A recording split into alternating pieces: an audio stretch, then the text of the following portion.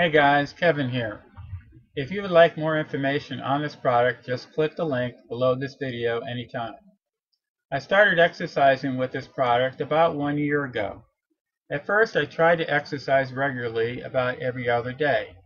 I read it was best to let your muscles recover by resting at least one day between sessions. I still believe it is best to go slowly and start by doing only what is easy to do. After a few sessions, and as long as there is no soreness in your muscles, it is okay to either increase the elevation or the amount of reps. Personally, for each notch of elevation, I would do 6 reps for 2 or 3 sessions. Then I would increase the reps to 12 for 2 or 3 sessions, and finally to 18 reps. Once that is done, I would raise the elevation one more notch and start my reps at 6 again, go to 12, go to 18, and so on. I am convinced that this is the best way to do it. Also, I like music playing in the background, so I put on an old record album each time on the turntable. It really helps.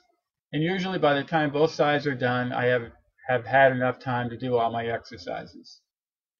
Good luck to you on your quest to get fit and I do recommend the Total Gym to anyone trying to start exercising. It will be all you need, believe me. To learn more about this product, just click the link below this video.